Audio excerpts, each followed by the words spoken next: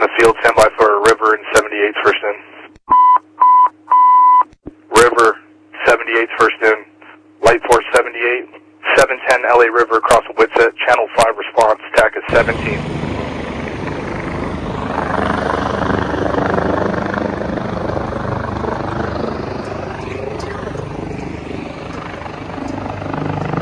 LAFD responded uh, with a full Swiftwater response and a vertical wall channel. We encountered about three feet of water moving at 8 to 12 miles per hour. This ended up limiting the LAFD's access with being a vertical wall channel, ended up posing a great number of challenges to overcome.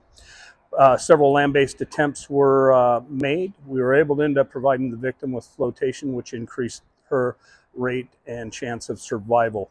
Ultimately, this victim was captured by air operations by a down uh, man on a hoist line going up into an LAFD airship being transported over a local trauma center to be evaluated. I'd like to take this opportunity to remind the public that the LA waterways are a great thing to end up enjoying from afar. Uh, being down in the waterway, we can end up having three inches of water turn into three feet of water in a moment's notice, not only from a downpour or a rain burst, but from an unannounced dam release. I'd like to end up reminding everybody that those are no areas to end up playing and frolicking. Stay away.